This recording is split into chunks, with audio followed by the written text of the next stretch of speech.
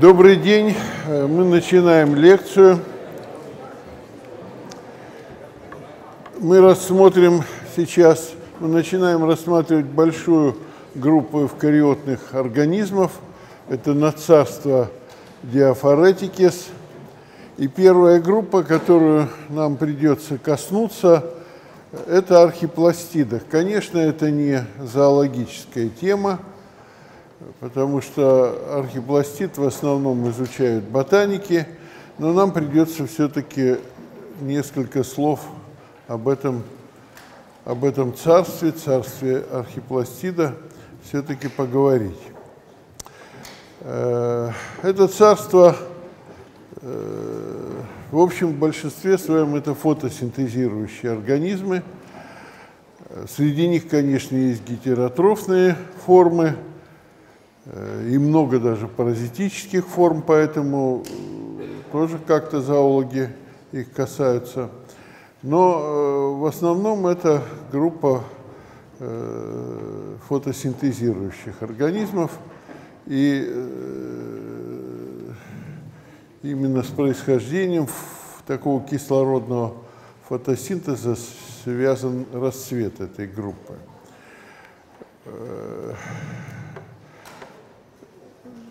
Вот этот кислородный фотосинтез стал активно развиваться на нашей планете вот примерно 2,4 миллиарда лет назад. Собственно, именно этот вот рубеж э, вот и называют иногда вот этой кислородной катастрофой, когда э, анаэробная до этого биосфера стала превращаться в в аэробную. И когда произошло массовое такое э, вымирание анаэробных форм и бурный прогресс аэробных форм. И, в общем, э, вот э, метод молекулярных часов, он, в общем, единодушно разными исследователями показывает именно этот период, то есть период примерно 2,4 миллиарда лет назад, это э, основная вот дивергенция эволюционных линий цианобактерий. То есть вот цианобактерии стали, появились и стали бурно эволюционировать именно в этот период. И именно с этого момента и благодаря именно цианобактериям, прежде всего цианобактериям, на нашей Земле в атмосфере существует свободный кислород. Это оказывает сильнейшее геологическое воздействие, потому что ну, понятно, что все вот эти поверхностные породы, они окислены. Ну и, конечно, благодаря этому существует разнообразная животная жизнь, тоже использующая кислород. Ну, возникает вопрос, а ведь до этого был фотосинтез? Конечно, был. Вот архейский фотосинтез, э, он в основном осуществлялся как бескислородный фотосинтез или в значительной степени бескислородный фотосинтез, потому что использовалась не вода, а сероводород. Сероводорода было много, много, потому что э, ранний период истории Земли это активный вулканизм. А почему? А вулканизм постепенно затухает. И понятно, почему он затухает. Ведь тектоническая энергия Земли, она подпитывается это чем? Тем внутренним теплом, которое накоплено было Землей в процессе ее формирования. И это тепло расходуется оно уходит в межпланетное пространство, и постепенно вулканизм э, ослабевает, и когда-то он прекратится. Ну, по расчетам он прекратится где-то примерно через... Ну, не, нам хватит еще земного тепла, наверное, на полтора миллиарда лет – ну а после этого мы начнем терять океаны, они будут тихонечко высыхать, и Земля превратится в сухую, а потом и в мертвую планету. Гораздо раньше, чем там Солнце закончит свою эволюцию э, вот этим превращением в красного гиганта и последующими событиями. Ну, важно, что вот э, в процессе вулканизма выделялся сероводород, но выделялась и водяной пар, ведь и до сих пор вулканические газы это на 75-80% состоят из воды. И, конечно, количество воды накапливалось. И вот получилось, что один ресурс, сероводород, он уменьшался, а другой ресурс, наоборот, увеличивался. И этот бесконечный э, ресурс – это вода. И э, вот произошла замена бактериального фотосинтеза без кислородного, основанного на сероводороде, на бактериальный же фотосинтез, основанный на воде с выделением кислорода. И вот э, занимались этим именно цианобактерии, которые даже на этой картинке изображены э, в виде строматолитов, потому что строматолиты строились фотосинтезирующими бактериями, вероятно, цианобактериями. Во всяком случае, современные строматолиты построены цианобактериями. Э, ну, цианобактерии – это настоящие бактерии, у них кольцевая ДНК, э, у них, э, как у всех бактерий, есть значит, пептидогликановая оболочка, пептиногликановая клеточная стенка, так лучше правильно говорить. Ну и вот э, фигобилисомы, органеллы, которые, которые обеспечивают э, э, значит, э, собственно, фотосинтез, они связаны с внутренней мембранной системой, которая у цианобактерий есть и представлена такими одиночными стопками. Пигменты цианобактерий в большинстве своем это Э, хлорофилл А и фикобелины. И вот это объясняет их такой, э, ну, такой сине-зеленый оттенок, вот э, почему их называют сине-зелеными водорослями или цианобактериями. На самом деле цианобактерии сейчас, свободно живущие цианобактерии, обеспечивают значительную часть фотосинтеза на нашей планете, особенно в океане. Вот, по-видимому, в океане не менее 25%, а может быть и больше первичной продукции создается свободно живущими цианобактериями. Но э, вот цианобактерии, э, их активная деятельность вот в этот период, в период кислородной вот этой революции, для кислород, их активная деятельность привела к уменьшению концентрации парниковых газов, например, э, углекислого газа. И многие исследователи связывают именно с деятельностью вот этой взрывом концентрации, взрывом разнообразия цианобактерий, первое и самое большое в истории Земли, самое длительное э, в истории Земли оледенение. Это Гуронское оледенение, э, которое продолжалось почти 300 миллионов лет. Это Гуронская ледниковая эра.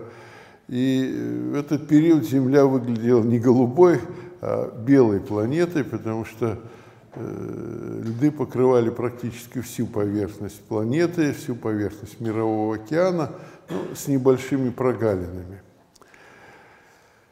Ну и вот цианобактерии, не знаю, так это или нет, но э, вообще надо сказать, что ледниковые эпохи – это вообще одна из загадок. Э, их проблемы, почему они наступают, почему они заканчиваются. Ну вот такая гипотеза об этом чудовищном гуронском оледенении, она существует. Ну а вот цианобактерии, помимо того, что они обеспечивают нас кислородом и первичной продукцией как свободно живущие организмы, они очень охотно вступают в симбиоз с другими организмами, прежде всего с ну, конечно, с эукариотными организмами, у которых они поселяются внутри клеток как э, вот, э, внутрицитоплазматические эндосимбионты. Э, в общем, сохраняя или как-то модифицируя свою вот эту цианобактериальную природу. Иногда даже не очень сильно. Вот под царстве Белифита есть такая, такой тип, ну, ботаники используют вместо слова «тип» слово «отдел», глаукофитовые, которых э, это фотосинтезирующие протисты с двумя жгутиками, один из них передний, другой задний, как положено – вот. Э, и вот э, глаукофитовые, э, ну, как бы всегда считалось, что в их цитоплазме есть симбиотические цианобактерии. Их так и называли цианеллы. Но эти цианеллы действительно сохраняют практически все черты свободно живущих цианобактерий. Ну, понятно, что у них там сохраняется кольцевая ДНК, э, одиночные вот эти телокоиды, сохраняется определенный характерный для цианобактерий набор, для большинства цианобактерий набор пигментов, хлорофиллы А и фикобилины. И даже пептидоглюкановая стенка есть.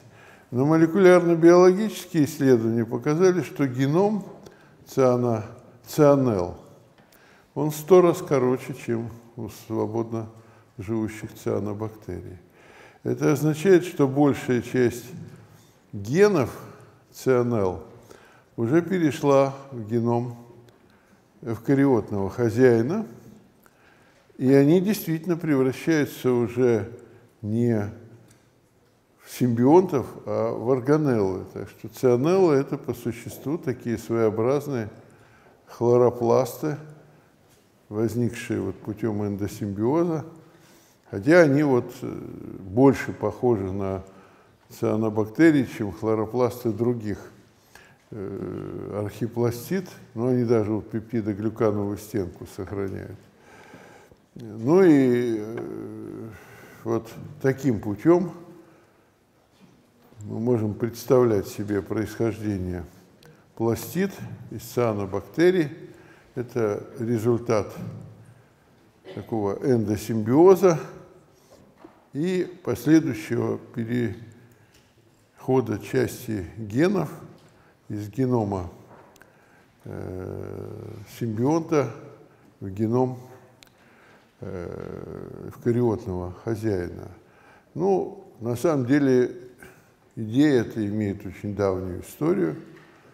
И ее еще впервые высказал по-всякому обосновал Константин Мережковский, о котором я говорил на одной из первых лекций.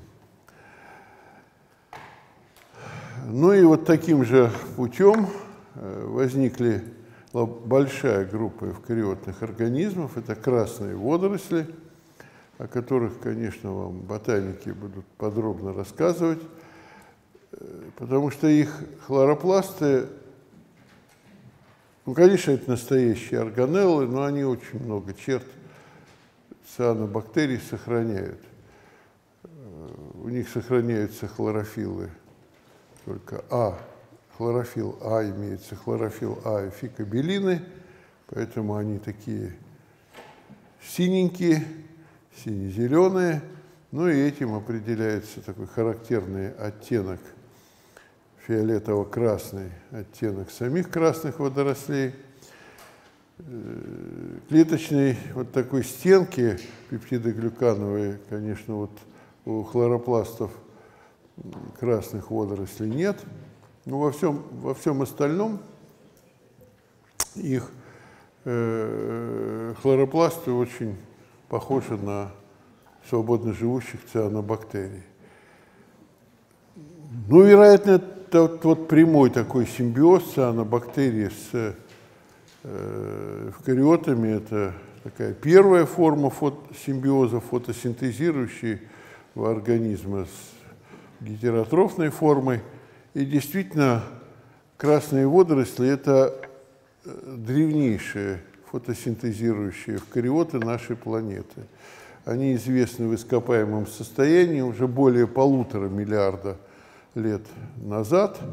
Вот здесь значит, картинки э, ископаемой протерозойской, средней протерозойской, э, в среднем протерозое водоросли – это многоклеточная водоросль, хорошо сохранившаяся, не только видим стенки клеток, но даже сохраняются вот остатки хлоропластов и периноидов в этих, э, в этих остатках.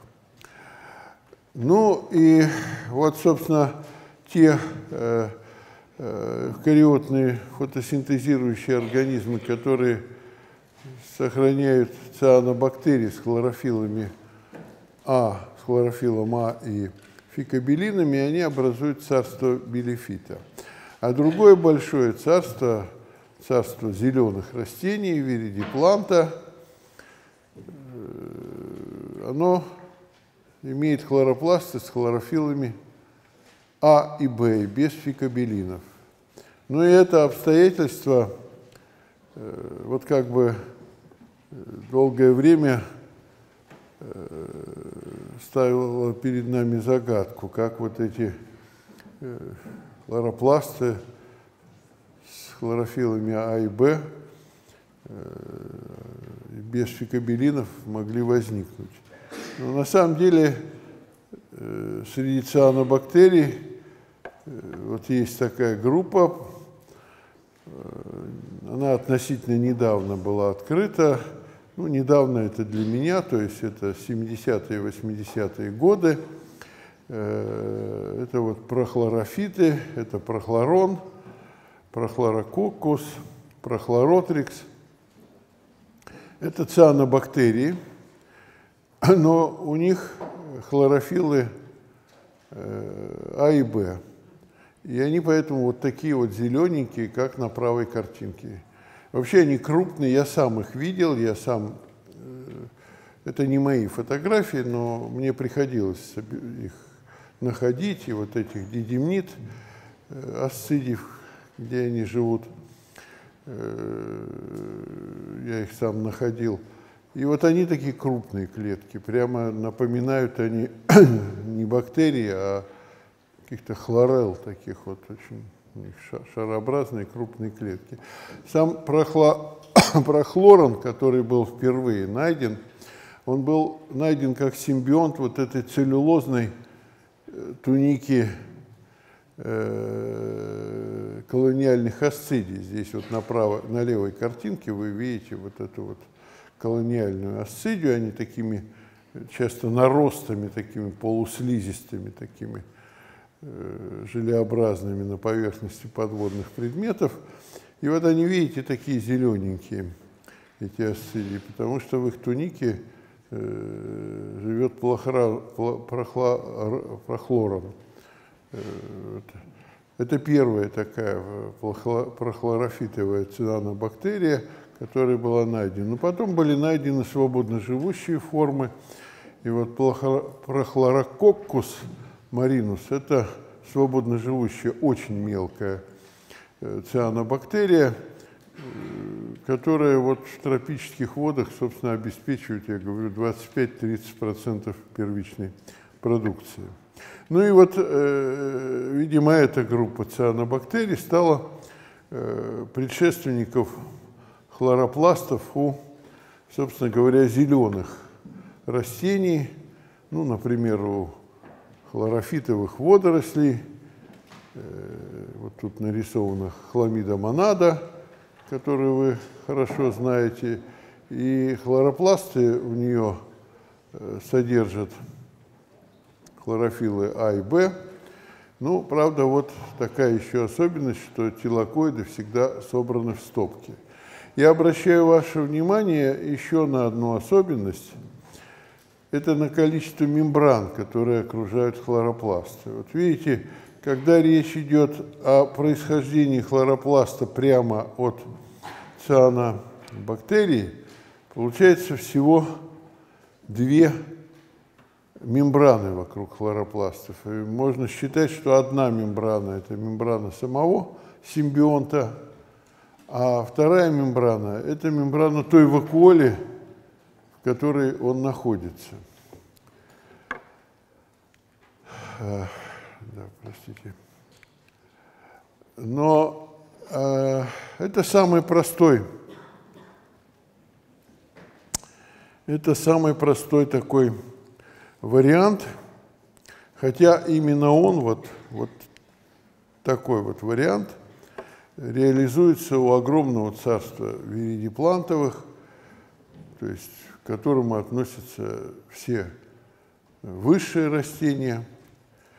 Но вот э, в этой группе э, диафоретикус э, есть и другие фотосинтезирующие формы – и вот есть царство хрома альвеолята. Э, ну и вот есть такая группа криптофитовых, которую я, видите, нарисовал как-то между хромальвеолятами и архипластидами. Ну, потому что не получается ее. Э, я уже говорил вам, что, конечно, вот мы строим всю эту э, систему низших эукариот, э, опираясь на молекулярную филогенетику, ну, как в биологии бывает, ни один метод не дает э, стопроцентной решения. И вот криптофитовые все время по одним, по одним получается, программам получается архипластидами, по другим программам они получаются Э, хромальвеоляты. Ну и хорошо бы их не было, и мне бы тогда не надо о них говорить, но они есть. И еще так устроены, что о них придется рассказывать. Дело в том, что ну вот это на самом деле нормальное, э, нормальный такой протист, у него есть передний и задний жгутик – у криптофитовых передний жгутик с такими простыми мастигонемами. Даже есть, видите, вентральная бороздка. Это э, формы, которые способны к фаготрофному питанию. У них есть э, соответствующие даже органеллы защитные, используемые тоже при поимке пищи. Есть клеточный рот. Э, само, само существование вентральной бороздки для нас с вами – очень показательная. Это такая черта, которая э, берет начало от самых древних эвкариотных организмов. Но у них хлоропласт. Хлоропласт этот не зеленый, а такой рыженький, потому что как у архипластит, вот видите, на этой картинке-то они как-то между архипластидами и хромальвиолятами. Так вот, у архипластит хлоропласта зелененький, а у хромальвиолят он такой рыженький, желтенький. И у криптофитовых он желтенький, потому что в нем содержатся хлорофиллы А и С. Но это еще не все. Дело в том, что хлоропласт криптофитовых окружен не двумя, а четырьмя мембранами. Вот посмотрите на правой картинке. Я с трудом большим вот рисовал там, чтобы не вот эти все четыре мембраны. И хуже того, между второй, если считать от поверхности, и третьей мембраной есть маленькое ядро, нуклеоморф. И это эвкариотное ядро, и оно действительно настоящее эвкариотное с э, хромосомами, даже число хромосом этих подсчитано, их три. Вот. И это означает, что э, хлоропласт криптофитовых э, это не прокариотные, а эвкариотный симбионт. То есть происхождение криптофитовых приходится представлять как результат двойного симбиоза. Сначала какой-то фаготрофный протист первого порядка проглотил цианобактерию, и появилась первичная пластида, окруженная всего двумя мембранами. А потом другой фаготрофный протист второго порядка проглотил вот этого, эту фотосинтезирующего эвкариота. Ну, будем считать, что он был похож на красную водоросль. И тогда из этого проглоченного эвкариотного симбионта получилась вторичная пластида с нуклеоморфом, рудиментарным ядром, окруженная четырьмя мембранами. При этом самая наружная мембрана – это мембрана вакуоли эвкариотного хозяина второго порядка. Вторая мембрана – это мембрана плазмолема, поверхностная мембрана эвкариотного симбионта. Третья мембрана – это мембрана – вакуоле вот этого эвкариотного симбионта, а э, уже четвертое – это мембрана вот э, этой первичного э, прокариотного симбионта. Ну и вот где-то на этом пути появился отдельный хлорофилл, хлорофилл С, отличающийся от хлорофилла Б и делающий Э, вот хлоропласты э, другого цвета, они э, получаются такими коричневыми, рыжими. Ну, я бы мог, наверное, объяснить, почему это произошло. Это произошло потому, что спектр поглощения в океане, он, разные части спектра поглощаются так, что выгоднее иметь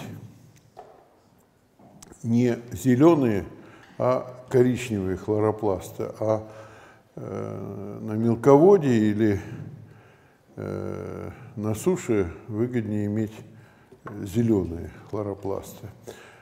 Ну, как бы то ни было, конечно, вот это ядро, э, нуклеоморф, ядро эвкариотного симбионта, оно маленькое, рудиментарное, значительная часть генов переходит э, ядро хозяина второго порядка.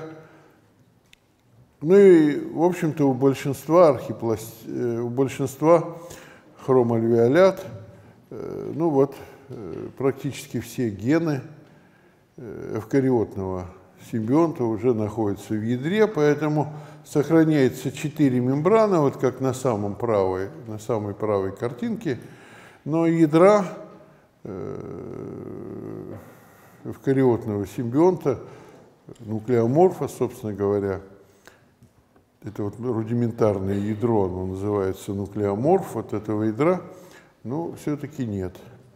И такая картина вот характерна для большинства представителей хромальвиолят, э, ну, тех из них, которые сохраняют фотосинтетический аппарат, потому что вот здесь картинка, где показаны некоторые группы царства хромальвиолята. Но я все время говорю, что на моих картинках не все группы показаны. А даже рассказываю я не обо всех, которые показаны на картинках. И вы видите, что здесь все-таки, кроме фотосинтезирующих форм, довольно много не фотосинтезирующих форм, утративших способность к фотосинтезу. Но тем не менее, вот посмотрите, это типичный представитель э, фотосинтезирующих э, хромальвиолят. Это хризофитовая водоросль, это тип хризофита, отдел хризофита, как говорят ботаники. И вот обратите внимание на правую картину. Тоже все как положено. У них передний жгутик, значит, это с мастиганемами, задний голенький. Вот. И посмотрите, как устроен хлоропласт. В нем, конечно, уже нет нуклеоморфа, но то, что он происходит от эвкариотного симбионта, говорит тот факт, что у него четыре мембраны. И вот это счет мембран, он такой же, как у криптофитовых. И вот это такой. И еще одну особенность я бы хотел подчеркнуть, это строение мастиганем. Вот мы с вами мастиганемы видели и раньше, например, у Евгленовых, и у многих. Но это были простые мастиганемы, это гликопротеиновые волоски на поверхности жгутика. А вот если мы, так, если мы посмотрим на вот, э, систему царства хромальвиолята, видите, в этой системе есть подцарство строминопилис и подцарство альвиолята. Вот у них должна быть какая-то, у каждого подцарства должна быть какая-то синопоморфия. И на самом деле э, и строминопилис, и альвеолята выделены задолго до молекулярной филогенетики, потому что у них есть вполне нормальная э, морфологическая, хотя и на ультраструктурном уровне, синопоморфия, то есть тот признак, который возник у общего предка строминопил, и этот признак – это строение мастиганем. Вот у них трехчленные мастиганемы. Вот видите, вверху тут это нарисовано. Значит, такое основание. Затем длинное, ну вот, такое основание, потом длинная трубчатая средняя часть и длинные конечные волоски. Ну вот эта трубчатая часть, она, собственно, напоминает чем-то, ну как бы вот э, стебелек соломы, и, собственно, строменос – это солома по латыни. Вот поэтому они строменопилос. Вот эти трехчленные мастигонемы – очень характерная черта. Она не встречается за пределами строминопил и позволяет, позволяла э, еще задолго до, э, э, задолго до молекулярной эры молекулярной филогенетики относить некоторых совершенно не фотосинтезирующих протистов, ну вот к строминопилам, например, аполиновых. Вы прекрасно э, знаете, аполлина – это такой большой жгутиконосец, фактически макроскопический, 2-3 миллиметра, его такое листовидное тело, может быть и крупнее – Э, живут они в пищеварительной системе земноводных. Но на самом деле среди них есть одноклеточные формы, одноядерные формы. Тоже они связаны с э, гадами. Вы знаете, кто такие гады?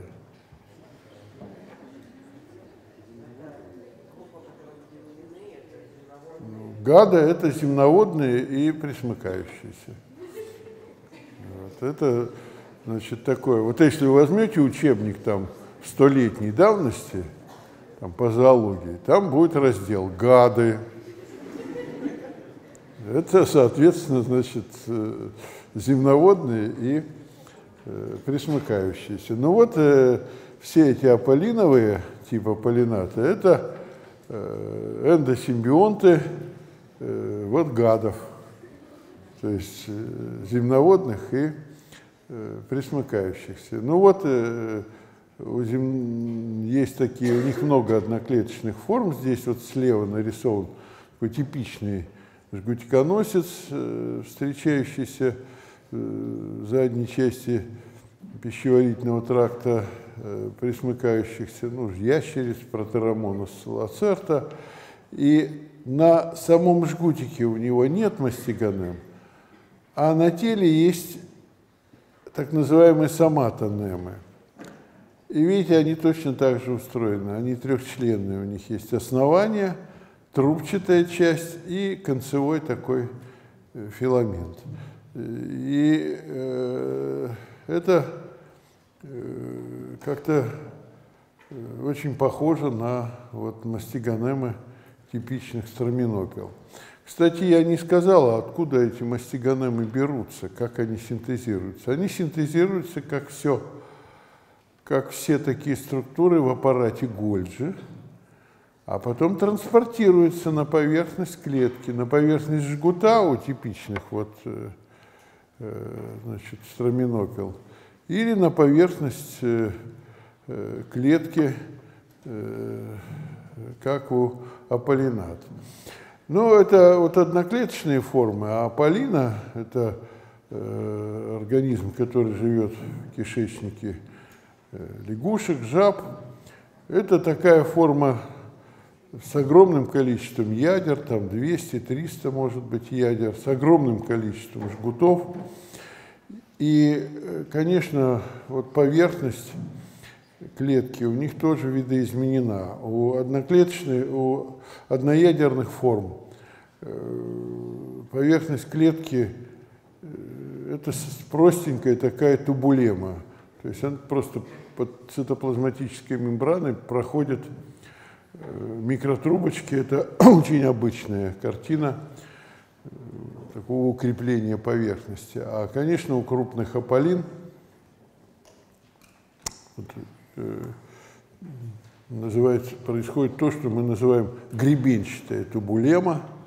Гребенчатая тубулема – это вот эти продольные гребни, они на самом деле видны при рассматривании живой ополины, вот как такие продольные полосы – и они тоже укреплены микротрубочками. И как раз вот в промежутках между этими гребнями проходит, происходит э, формирование пеноцитозных пузырьков, которые дальше перевариваются в цитоплазме. Вот, э, и, собственно, вот это является основой питания аполин, потому что они вот эту жидкость, окружающую их в клаке, Э, земноводных, они просто пиноцитируют и содержащиеся в ней полезные для них вещества, они их переваривают.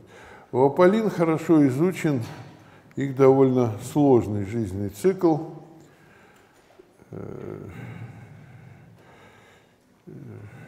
Это диплоидные, простейшие, они на большей части жизненного цикла диплоидны. Вот, э, Э, молодые земноводные э, заражаются, проглатывая зиготы, диплоидные клетки, окруженные оболочкой, и в кишечнике выходит молодой трофонд, который растет, становится вот таким гигантским, большим, 2, 3, 4 и больше миллиметров – число ядер у него увеличивается тоже до 200-300. Они делятся, но обычно вот они делятся так вот э, как бы пополам, а вот э, когда лягушка или жаба становится половозрелой и собирается размножаться, то Значит, гормоны лягушки включают очень быстрое деление аполин, половые гормоны лягушки. И э, в результате этих многочисленных делений аполины сильно мельчают, и получаются так называемые гамонты, содержащие всего 3-4 ядра, маленькие, они окружаются оболочкой цист и выходят во внешнюю среду. Как раз тогда, когда лягушка или жаба плюхается в воду с целью размножения. Через какое-то время получаются головастики. Головастики заглатывают окруженных цистой гамонтов, и в кишечнике головастика происходит редукционное деление миоз, и формируются э, гаметы. Причем гаметы разные, мужские и женские. Вот мужские гаметы мелкие, такие остренькие, с остреньким носиком, макрогаметы, женские гаметы. Мы считаем, что женщина всегда большая, а самец он всегда такой юркий, маленький. Ну, вот, микрогаметы, поэтому как бы мужская гамета, макрогамета как бы женская. Ну и те, и другие многожгутиковые. Видите, и те, и другие многожгутиковые.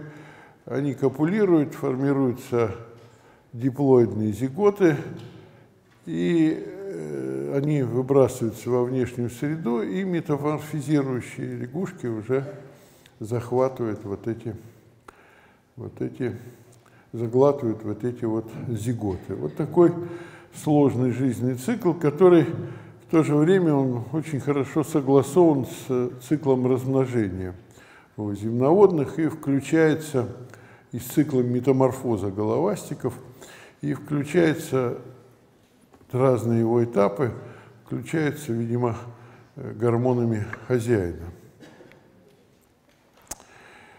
Э, ну вот, э, значит, нам, мы, мне только хочу сказать, что царству строминопил принадлежит очень много других форм, в том числе фотосинтезирующих форм. Это всякие бурые водоросли, это диатомовые водоросли – это такая большая группа, и они, конечно, диатомовые водоросли вот, в современном биосфере, они играют основную, главную роль в производстве первичной продукции в океане. Но сейчас мы перейдем к подцарству альвеолята. Это все представители царства хромальвеолята, и там вот подцарство строминопилос – и подцарство альвеолята. И вот это подцарство альвеолята тоже выделялось еще до эпохи молекулярной филогенетики на основе синопоморфии, то есть морфологического признака, э, который э, свойственен представителям этой группы присутствовал у их предков, это строение покровов. Вот у всех альвеолят покровы построены вот примерно таким образом. Под поверхностной мембраной располагаются плоские цистерны гладкого ретикулюма, альвеолы. Они фактически все, все поверхность тела э, простейшего занимают, контактируют друг с другом. И под ними уже проходит вот это, э, эти микротрубочки, которые ну, характерны для большинства форм. Вот у них пелликула, покровы, вот, называется у простейших чаще всего пелликула. Вот эта пелликула, она состоит именно из альвеол и микротрубочек. И вторая синопоморфия – это защитные органеллы, трихоцисты. Это тоже элементы гладкого ретикулюма – они обычно располагаются вот на стыке альвеол, и там они содержат э, белок, э, который способен мгновенно менять свою конформацию при деполяризации поверхностной мембраны клетки. То есть если клетка тем или иным путем значит, испытывает раздражение, происходит деполяризация мембраны – и в ответ на это происходит выстреливание трихоциста.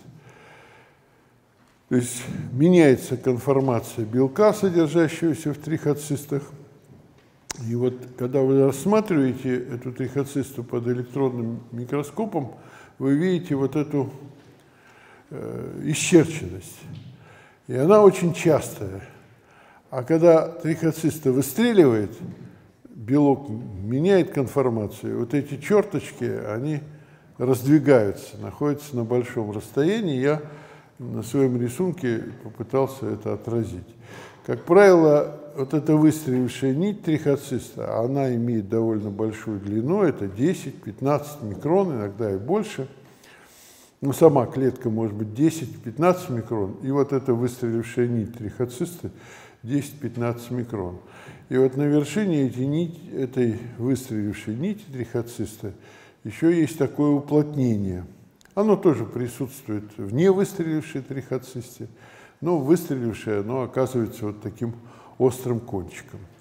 И вот представители э, альвеолят, они вот такими, такой чертой обладают.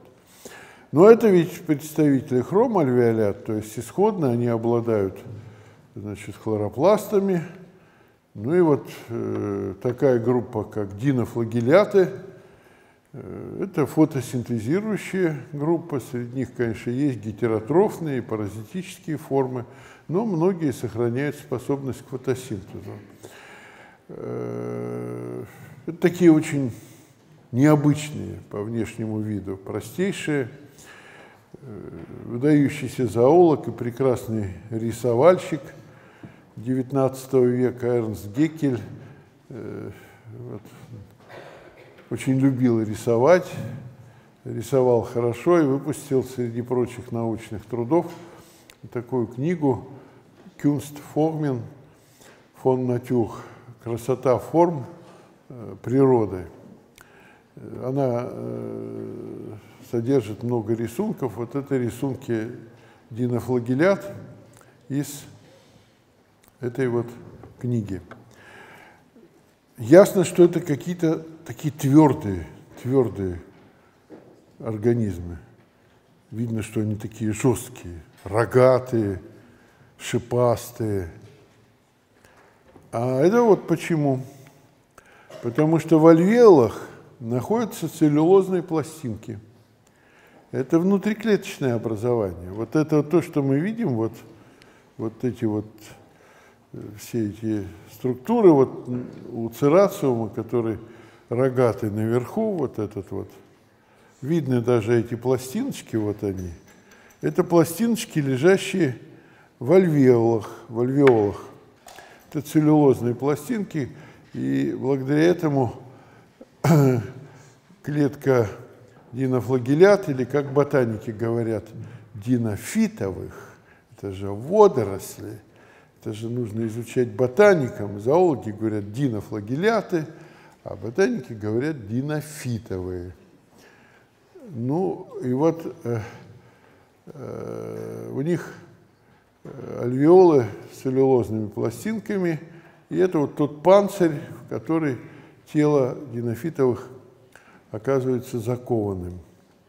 У них два жгутика – один поперечный жгутик, он идет такой бороздки на поверхности клетки, цингулем, а другой продольный жгутик. Исходно он был передним, поэтому он э, тоже с мастигонемами. Ну и в покровах, конечно, есть вот трихоцисты, и они защищают клетку, они вот именно так устроены, выстреливают при раздражении. Ну, можно было бы еще много интересного рассказать о э, строении динофитовых, но пусть об этом вам рассказывают ботаники. Я хочу вам просто указать на одну особенность. Я вот тут нарисовал ядро такое розовенькое, а внутри ядра такие косички. Косички такие, видите, красненькие. Это молекулы ДНК. Я вам уже говорил, что если вы будете рассматривать в электронный микроскоп ядро эвкариотной клетки, то никакой ДНК вы не увидите. В ядре будут какие-то гранулы, мусор какой-то. Все это будет белки, гистоны, которые маскируют ДНК, его не видно. А у динофитовых вы видите кольцевые такие молекулы ДНК, закрученный в косички. Вот как это выглядит в электронном микроскопе. Вот вы прямо видите эти вот молекулы ДНК. А слева вот реально строение хромосомы динофитовых. Это кольцевые молекулы. Каждая хромосома состоит из множества кольцевых молекул, закрученных, в результате чего образуются косички. Я вчера взял и нарисовал, как это делается. Вот посмотрите, понятно вам, как получается такая косичка? Вот вы несколько раз так закручиваете, получается вот такая косичка. Вот это и есть загадка э, динофитовых. Это эвкариотные организмы, у них есть нормальная э, двуслойная ядерная оболочка, но внутри ядра находятся кольцевые молекулы ДНК, лишенные гистонов, то есть организованные так же, как бактериальный динофор. Правда, это, эти кольцевые молекулы политенные, или можно сказать, то есть в каждой хромосоме не одна вот такая кольцевая молекула, закрученная в косичку, а несколько десятков таких молекул. Вот я попытался изобразить это на схеме, э, на левой схеме. Тем не менее, вот такая загадка существует. В геноме динофлагелят есть гены э, белков гистонов, но самих белков гистонов в ядре нет. И наоборот, с э, кольцевыми молекулами белков, кольцевыми молекулами ДНК ассоциированы э, такие бактериальные белки. И это вот загадка, почему ядро динофитовых вот, сохраняет такие прокариотные черты. Конечно, можно было бы думать, вот оно, вот они, самые примитивные, еще не совсем настоящие эвкариоты, у них еще вот прокариотное ядро. Э, ну, вы посмотрите на вот эту организацию этой клетки с этими альвеолами, с этими трихоцистами, еще с чем-то. Это что, примитивный организм, примитивная эвкариота? Нет, конечно. Ну, у меня есть, конечно, своя гипотеза значит, происхождения ядра динофитовых, но я ее рассказывать вам не буду, не хочу. Вот. Динофитовые очень широко распространены в море в составе морского планктона и имеет, э, э, имеют немалое практическое значение. Прежде всего потому, что их массовое размножение, оно обычно происходит во второй половине лета, вот ближе к осени, приводит к такому э, явлению, как красные приливы. Это когда их разводится так много, что вода на мелководьях приобретает такой рыжий или даже красный такой цвет. Но дело не в цвете, а в том, что они выделяют в воду токсины, вот э, в виде таких вот длинных ароматических цепочек. И эти токсины, накапливаясь, дело в том, что, естественно, это мелкие фотосинтезирующие организмы, их э, профильтровывая едят моллюски, значит, полихеты, черви, их едят рыбы, и вот рыбы, уже накапливая э, там беспозвоночные ежи, которые едят водоросли, накапливая вот эти э, значит, токсины, они умирают. Ну и человек, который в это время ест рыбу или устриц, или морских ежей, он тоже, соответственно, получает э, отравление от этих дино, токсичных динофлагелят. Это бывает не каждый год, во всяком случае в наших широтах. В тропиках это чаще, но и в наших широтах это бывает, хотя не каждый год. И вот я просто участвовал в расследовании такого явления, как массовая гибель рыб и беспозвоночных у берегов Камчатки, которая случилась осенью, как раз в конце августа, в начале сентября 2020 году, то есть вот получается сколько уже, 4 года назад, когда вот на Алатырском пляже, вот, вот тут вот, вот в этом месте, вот, наблюдалась массовая гибель беспозвоночных. А дело еще в том, что этот Халатырский пляж, его облюбовали серферы. Там прекрасная вот волна такая – и туда их собирается, хотя это и Камчатка, летом бывает до 20-30 тысяч. Они и зимой, они даже эти серферы сумасшедшие, они зимой катаются на этих волнах, потому что на Камчатке хоть и холодно, но море-то не замерзает. И там в этих гидрокостюмах обледенелые все на этих досках катаются. Ну а летом вот очень их, конечно, очень много, там тепло, море, в общем, не такое холодное, ну и такая прекрасная камчатская осень. И, конечно, там они живут, и там тысячи палаток, конечно, они кушают мидии, конечно, они кушают рыбу, конечно, они едят э, ежей, все они вот в 2020 году потравились из-за массового развития динофлагелят. Так что эти животные, эти организмы, они для нас имеют определенное э, вот такое значение. Ну и дальше уж мне пере, приходится переходить э, к гетеротрофным э, альвеолятам, и в частности вот к такой группе типов, как апикомплекса. Среди представителей этой группы есть свободно живущие хищные формы. Это тип колподелида. Вот он тут показан, тип колподелида. И вот здесь нарисована такая хищная форма колподелла ворекс. Это небольшой э, одноклеточный такой одноядерный протист с двумя жгутиками –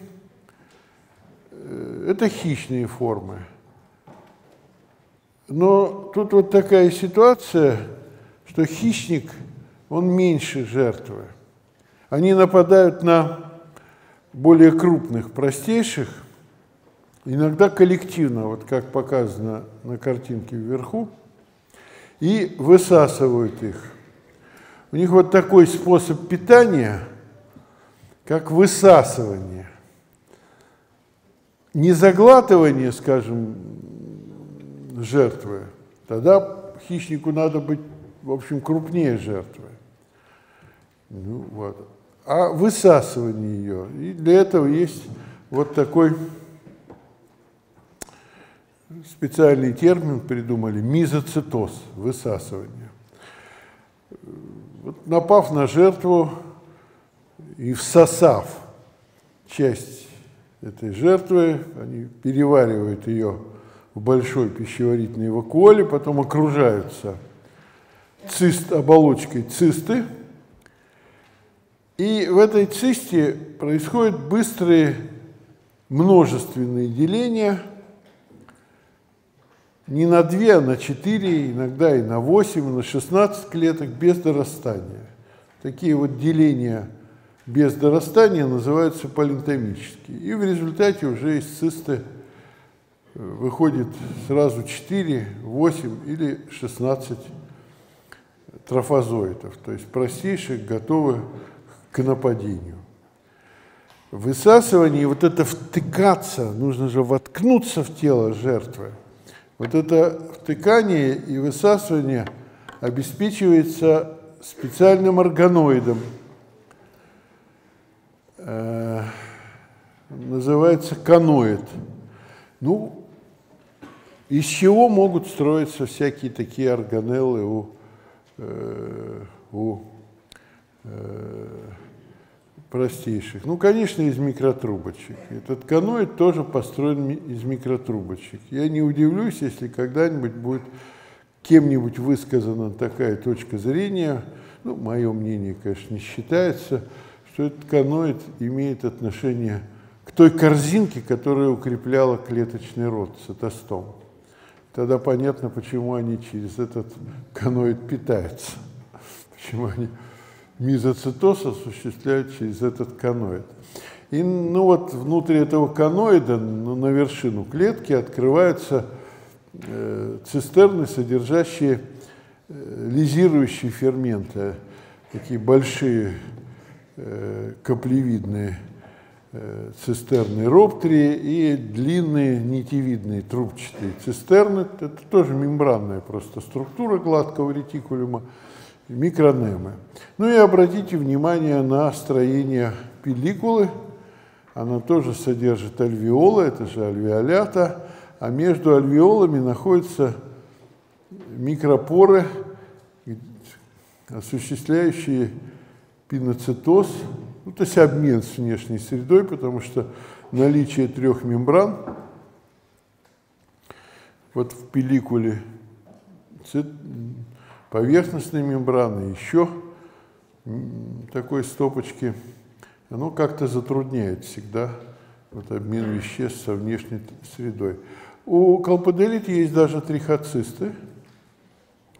Это вообще тоже черта, свойственная всем альвеолятам. Ну и колподелиды открыты и стали изучаться недавно. Ну, относительно недавно, это тоже 80-е годы прошлого века. Много очень вложили в изучение колподелит наши отечественные протестологи, и до сих пор в нашей стране как-то к вот этим базальным апикомплексам Э, как бы сохраняется интерес, в том числе и на нашей кафедре. Но для нас, конечно, вот колподелиды именно интересны как базальная группа для огромной группы для паразитических организмов, представителей типа спорозоа или споровиков. Здесь несколько классов, класс григорины, класс кокцидии – и класс гематозоя – это кровяные споровики. Ну, они тоже вот, у них есть такая стадия в жизненном цикле, спорозоид, стадия, осуществляющая первичное проникновение в клетку э, хозяина. И вот вы видите, что этот спорозоид имеет вот эти характерные черты, которые мы с вами видели даже у свободно живущих колподелит это каноид, он входит в состав апикального комплекса, ну там вот каноид, он состоит из микротрубочек. И посмотрите, от него отходит эта корзина микротрубочек, вот правый верхний рисунок, вот эта корзина микротрубочек, которая поддерживает жесткую, жесткость покровов спорозоида. И под поверхностью вот, идут эти плоские такие цистерны, альвеолы, а между ними располагаются микропоры, на дне которых осуществляется пиноцитоз. Ну и всякие другие есть укрепляющие элементы в апикальном комплексе. Там, значит, эти кольца, видите, там передние кольца, Э, значит, преканоидальные, э, переднее полярное кольцо в основании коноида, ну и даже вот на заднем конце заднее полярное кольцо. В них это плотные такие э, белковые структуры, в которые втыкаются, заякориваются микротрубочки. Жизненный цикл э, всегда сложный, включает половой процесс, всякие сложные варианты размножения. Ну вот класс григорина – это в основном паразиты беспозвоночных. И справа здесь показано, как спорозоид втыкается и начинает сосать, высасывать, он же питается мизоцитозом, клетку кишечника какого-нибудь беспозвоночного. И вот он, высасывая клетки кишечника, некоторое время заякоривается в клетках с помощью специального заякоривающего аппарата на переднем конце клетки эпимерит. Но он становится настолько большим, что э, мизоцитозом григорины могут питаться только на самой ранней стадии. А потом они уже висят в просвете кишечника или даже просто двигаются просвете кишечника, питаясь пиноцитозом. Григорины очень крупные, простейшие. Как правило, это до миллиметра, а у морских там каких-нибудь ракообразных иногда и 5, и 8, и 10 миллиметров от клетка. Она, видите, разделяется на две как бы части, но это, тем не менее, протомерит и дейтомерит, но, тем не менее, это все-таки одноядерная клетка. Вот. Поверхность этой клетки тоже вот этот поперечный срез слева вверху, это из публикации сотрудника нашей кафедры доцента Семдянова, она несет вот такие гребни. Это эпицитарные гребни. Вверху это поперечный срез – на электронном микроскопе, а э, внизу это э, вот так на сканирующем микроскопе видны эти гребни. Ну и вот схема этих гребней, вы видите, что гребни, тем не менее, под ними проходят вот эти цистерны, альвеолы, и между ними находятся микропоры, на дне которых формируются пиноцитозные пузырьки. С григоринами всегда связывают вот эту проблему какого движения григорин, потому что григорины даже на стекле предметном, они вот так равномерно, не меняя форму, движутся. Это заметно э, при наблюдении в обычный микроскоп хорошо очень. Но форма не меняется, жгутиков нет – и всякие гипотезы высказывались по поводу того, как они движутся. Вот видите, у них эти гребни, они всегда как-то часто изогнуты, и думали, что они, может быть, как-то ундулируют сзади наперед. Ну и вот за счет этой ундуляции Григорина движется. Но, скорее всего, дело не в этом, а все-таки в том, что Григорина выделяет слизь и, значит, э, э, вот, актиновые и миозиновые филаменты, связанные с белками мембраны, они, э, собственно, обеспечивают вот это движение белков мембраны, э, потому что мембрана ведь она э, в этом своем плоскости, она как бы это же жидкий кристалл, она жидкая. И вот эти белковые гранулы в составе мембраны совершенно свободно движутся. К ним прикрепляются актиновые и миозиновые филаменты. И вот исследования современными методами, ну, с использованием лазерной конфокальной микроскопии, показывают локализацию актина именно в поверхностном слое. И миозин, он тоже локализован в поверхностном слое – причем вот на правой картинке вы видите, что миозиновые молекулы, они связаны именно с вершиной эпицитарных грибней. Вот эта продольная исчерченность хорошо заметна. Так что, скорее всего, вот эта своеобразная механика движения крупных клеток григорин, она связана с актиново-миозиновым механизмом, общим для всех эвкариот. У григорин довольно сложный жизненный цикл.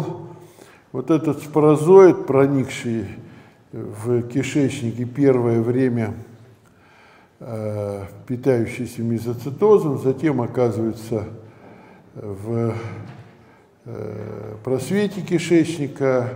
Эти крупные григорины, спорозоиды, э, крупные растущие трофонты, они гаплоидные, они соединяются между собой в сизиги, потом этот сизиги заключается в цисту, цисте происходят множественные метатические деления, в результате которых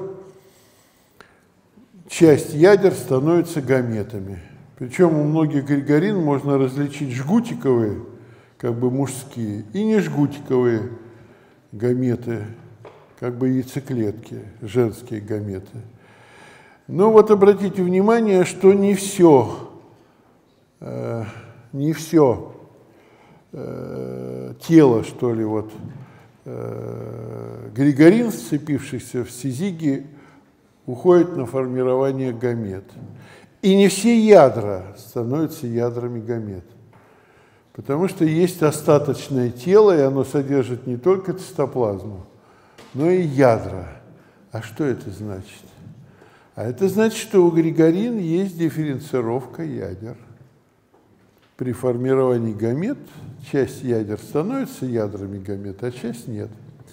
Но внутри, внутри вот этого сизиге в цисте, внутри цисты, происходит копуляция гамет, формируется возле каждой зиготы формируется новая оболочка, это оболочка ооцисты, и внутри этой ооцисты проходит Э, миотическое деление, деление созревания, то есть миоз, образуется четыре гаплоидных ядра. Ну и потом, как правило, еще эти четыре гаплоидных ядра, каждый из них делится митозом, получается 8 таких вот ядер, 8 спорозоидов, лежащих внутри ацисты. Ну вот как они попадают во внешнюю среду? Ну, вместе с фекалиями вот эта большая циста, содержащая там много сотен оцист, выходит во внешнюю среду. А осмотическое давление воды, солей в воде во внешней среде, ну там в капельках росы, скажем, ну что тут нарисован жук, он не в воде живет. Григорины у всех есть, начиная там от кишечно-полостных до э, низших хордовых, у всех есть григорины. Ну, у насекомых их тоже всегда много. Вот. И там астматическое давление другое, вот это остаточное тело разбухает и разрывает, разрывает цисту, и вот эти многочисленные ацисты просто из нее высыпаются. А там уже следующее Э, следующая генерация хозяев, она просто глотает эти ацисты и снова заражается григоринами.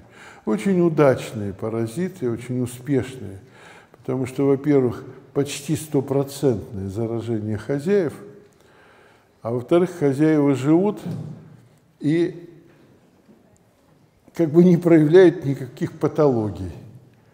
Это значит высший пилотаж для паразита жить за счет хозяина и особо не причинять ему вреда, чтобы он хорошо тебя и долго успешно содержал. Ну, григорины, наверное, не имеют большого практического значения, а вот кокцидии – это уже паразиты позвоночных, и они, конечно, имеют большое практическое значение. Спорозоид такого же строения проникает в клетку кишечника – и подвергается множественному делению. Сначала делятся ядра, а потом за счет деления а, возле каждого ядра обособляется э, цитоплазма и выходят множественные мирозоиды. Это такое деление, когда сначала делятся ядра, а потом цитоплазма распадается на соответствующее число клеток, называется шизогония. На самом деле это какой-то вариант полинтомии или близкое к полинтомии деления. Ну вот, во всяком случае, этих циклов шизогонии проходит несколько, и в результате происходит такое опустошение – разрушение значительной части кишечного эпителия. Здесь вот этот жизненный цикл проиллюстрирован на примере имерия. Это паразит кроликов. И в результате этого, конечно, у кроликов, особенно у крольчат, у мелких вот кроликов, у молодых, происходит гибель эпителия кишечника и очень большая смертность. Но рано или поздно проникшие в новые клетки кишечника мирозоиды превращаются в гаметы, в мужские гаметы и в женские гаметы.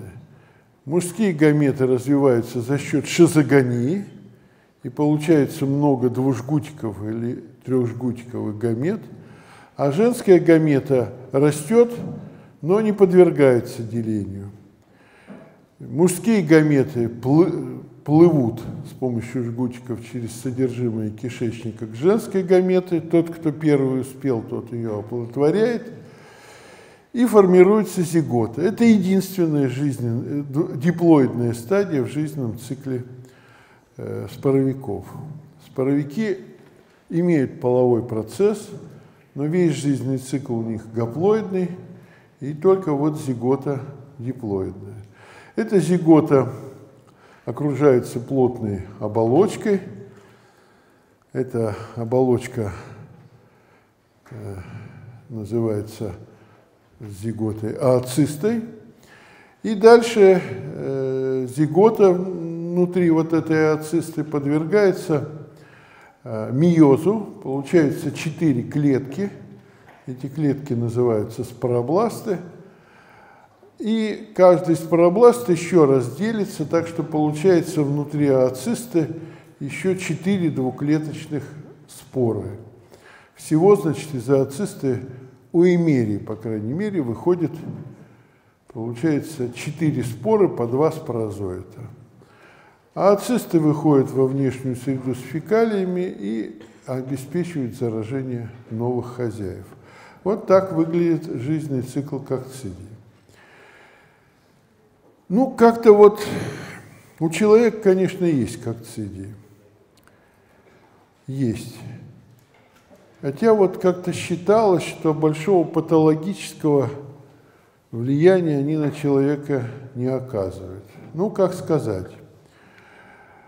Э, вот это жизненный цикл кокцидии, такой вот токсоплазма гонди. У нее два хозяина. Один хозяин – это грызуны, другой хозяин – это хищники, ну, например, кошки.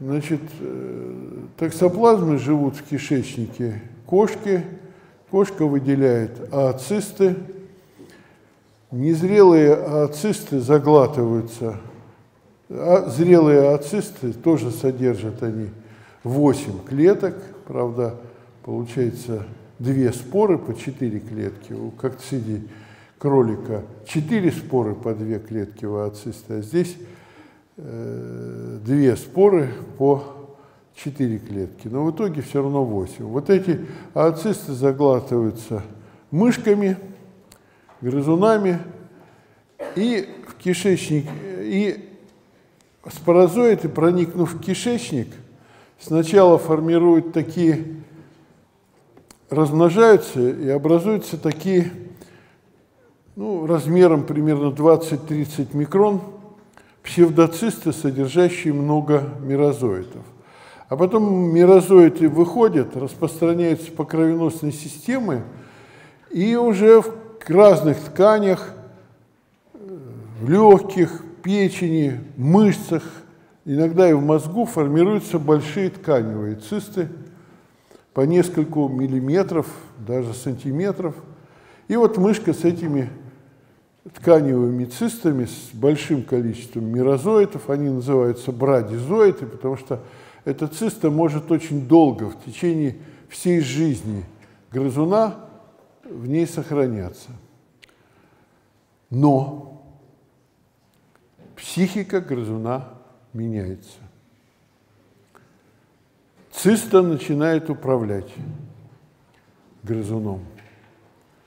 Опыты показывают, что поразительным образом мышей начинают привлекать запах кошачьей мочи. Мыши вообще перестают бояться кошек. Они выходят и прямо вызывают кошек на себя. Ну и в результате, значит, кошки их поедают, и жизненный цикл замыкается. Но дело в том, что общаясь с кошками, и вот эти вот цисты, вот эти ацисты могут поедаться не только грызунами, они могут поедаться свиньями, могут случайно поедаться коровами, и тогда в тканях свиней и коров формируются вот эти тканевые цисты, иногда очень крупные, по несколько сантиметров, содержащие миллионы, миллионы бродизоидов, вот, миллионы спорозоидов. И человек, поедая коров или свиней, тоже заражается токсоплазмами. И уже из бродизоидов в организме человека могут формироваться тканевые цисты. То есть человек себя ведет как вот этот хозяин-грызун, то есть он вот так. Но дело в том, что токсоплазма – управляет поведением человека. Вот какие изменения личности человека происходят при токсоплазмозе. Мужчины становятся склонны к риску, при этом у них снижается скорость реакции, поэтому больше вероятность попасть в автомобильную аварию. Некоторых мучает чувство сомнения, ненадежности, тревоги, повышенное чувство вины. Мужчины становятся более грубыми, а женщины, наоборот, более отзывчивыми. Так что, в общем, среди жертв дорожно-транспортных происшествий достоверно большой, больший процент зараженных токсоплазмозом. Но самое главное, что токсоплазмы – они способны проникать через, через плаценту. Это же мирозоиды, они активно движутся, проникают через плаценту, и поэтому общение с кошками и вот это поедание мяса непрожаренного особенно опасно на ранних стадиях беременности, потому что это приводит, и это реальная вещь, это не какие-то там изменения в поведении, к нарушению. Вот это вот фотография тканевой цисты из э, ткани человека, и вы видите, что в результате проникновения э, вот этих бродизоидов, ну, на самом деле мирозоидов из цисты в плод через плаценту приводит к развитию, э, нарушениям развития, в частности, к неисправимому дефекту микроцефалии. Так что беременным следует быть особенно осторожными.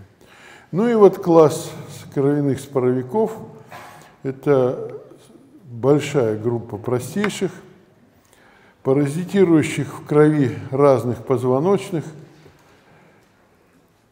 млекопитающих, птиц, рептилий, земноводных, лягушек и даже рыб. Интересно, а рыбы-то как?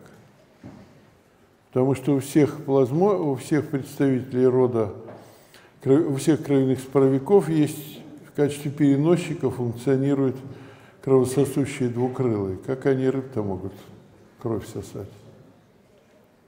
У каких рыб-то? У илистых прыгунов. Ну вот, ну ладно с илистыми прыгунами. У человека паразитирует несколько видов э, малярийного плазмодия, ну, конкретно 5, и они вызывают малярию, опасное заболевание, которое передается самками комара, анофилис, при кровососании. У комаров кровожадными, как вы знаете, являются только самки. Самцы ведут мирную жизнь, питая, или не питаются, или питаются нектаром, а вот самки сосут живую кровь. При кровососании со слюной самки попадают спорозоиты. Сначала они с током крови переносятся в клетки печени, и в клетках печени проходит шизогония, в результате чего формируется множество мирозоитов.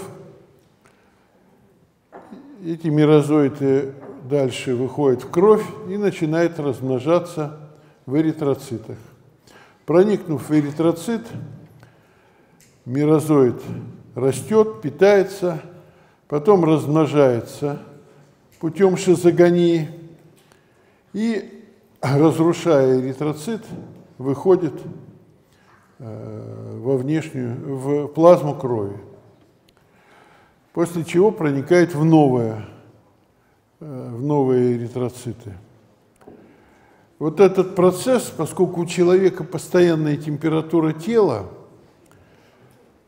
то есть цикл развития мирозоита в эритроците, он занимает одинаковое время. Поэтому получается, что выход э, мирозоидов, образовавшихся в эритроците, он синхронизован оказывается. И вот у разных видов малярии получается Э, разный вот период, когда они выходят. Потому что когда вы, они выходят из клетки, мирозоиты, в э, плазму попадают продукты их обмена, это так называемый гемозаин, который является сильнейшим ядом, и вот он, собственно, и вызывает приступ малярии, резкое повышение температуры до 40-41 градуса. Ну и вот есть трехдневная малярия, например, плазмодиум вивакс, двухдневная малярия, плазмодиум овале. И, к сожалению, вот самая злокачественная малярия – это африканская малярия, плазмодиум фальципарум. У нее 50% летальность без деления, потому что там вот это согласование нарушается, и человека непрерывно может вот трясти в этом приступе высокой температуры. Ну а дальше что? А дальше рано или поздно формируются микрогаметы и макрогаметы, которые уже остаются в эритроцитах. Поскольку паразиты не выходят в плазму крови, человек чувствует себя выздоравливающим. Он встает с постели, начинает чувствовать себя хорошо, выходит на улицу, тут прилетает самка комара, пьет его кровь и заражается вместе с, и вместе с кровью поглощает микрогаметоциты и макрогаметоциты, находящиеся в эритроцитах. Микрогаметоциты формируют гаметы, гаметы оплодотворяют яйцеклетки – и яйцеклетка внедряется в кишечник, в клетку кишечника комара. И вот у яйцеклетки, посмотрите, я тут нарисовал, это мой рисунок. Я сам все рисую. Есть каноид. Это единственная стадия в жизненном цикле кровяных споровиков, когда есть каноид. Вы же видите, как они называются-то? Сейчас. Аканоидозида – одно из названий. Нет каноида. Так вот, есть каноид-то, есть. Он есть вот этой блуждающей зиготы. Дальше эта зигота э, живет в гемоцеле комара с внешней стороны кишечника, вот как нарисовано. Э, она диплоидная, но тут же претерпевает миоз, и дальше множество митозов, так что образуются миллионы спорозоидов, которые плывут и локализуются в клетках слюнной железы и передаются э, человеку при очередном кровососании. Малярия – тяжелое заболевание, оно распространено э, в тропическом, субтропическом, ну и в южных районах умеренного пояса. Собственно, само слово «малярия» – это итальянское слово. Означает оно что? Плохой воздух, да. Потому что это такой вонючий, плохо, дурно пахнущий воздух, которым, по, которым пахли болота Ломбардии. Знаете, где находится Ломбардия, да? На севере Италии. Там река По, она образует многочисленные болота, и люди в Ломбардии все болели вот малярией, поэтому считалось, что эта малярия вызывается вот этим дурным воздухом. Там плазмодиум, плазмодиум вивакс как раз. Но это все ладно, но при изучении вот токсоплазм и при, при изучении малярии в цитоплазме мирозоидов была обнаружена интересная органелла, окруженная четырьмя мембранами. Эта органелла называется апикопласт. И оказалось, что этот апикопласт – не что иное, как утратившая фотосинтезирующие пигменты хлоропласт. Апикопласт содержит кольцевую ДНК, внутренний мембранный комплекс и даже телокоиды. Это хромальвиоляты. Они происходят от фотосинтезирующих простейших. И даже в малярийном плазмодии, в мирозоидах малярийного плазмодия и токсоплазма мы находим вот этот хлоропласт. Так что хлоропласт, вероятно, сформировался, так что э, апикопласт – это вот результат далеко зашедшего такого эндосимбиоза, причем здесь два такта эндосимбиоза. Первичный эндосимбиоз и вторичный симбиоз, ну так, как формируются пластиды у хромальвиолят. Это очень интересный факт – интересно, что совсем недавно, чуть 10 лет назад, были обнаружены свободно живущие кальподелиды с каноидом, но сохраняющие пластиды нормальные. Это вот морские простейшие хромериды, но они сейчас рассматриваются в составе вот кальподелид, предковой группы по отношению к э, ко всем вот этим э, апикомплексам. Видите, тут вот на правом рисунке видно даже как, что пелликула такая же, эти вот микротрубочки, потом, значит, эти альвеолы и так далее. Все это у них есть. Малярия – это опасное заболевание. Особенно оно было важно для белых людей, когда начались колониальные войны, потому что солдаты английской морской пехоты, направленные на завоевание Индии, заболевали малярией. Давно было известно, что э, для лечения малярии подходит э, экстракт из коры хинного дерева, хинин – И солдатам предписывалось в обязательном порядке перед обедом пить настойку хинина. Но он же горький хинин невыносимо. И солдаты морской пехоты втихаря выплескивали этот хинин и пить не хотели. Тогда хинин стали размешивать в ежедневной порции джина – которые полагались солдатам. Делать нечего, пришлось пить. Джин с хинином. джин с тоником. А когда солдаты вернулись в Англию, они стали требовать в трактирах джин с тоником, который таким образом превратился в весьма такой аутентичный английский напиток. Джин пьется обычно с тоником, это любимый напиток солдат английской морской пехоты. Заболеваемость малярией все еще велика. Вы видите, что есть страны, где э, заболевает более миллиона человек в год, и много стран, где от 500 тысяч до миллиона.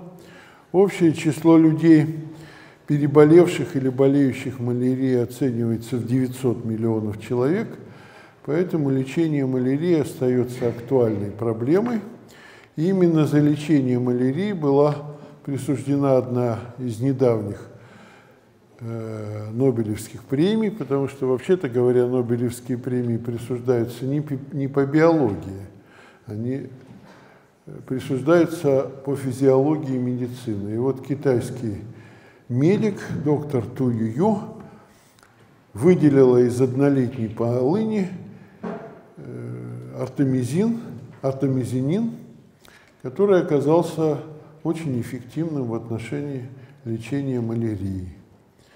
Так что с малярией мы продолжаем бороться. Спасибо за внимание.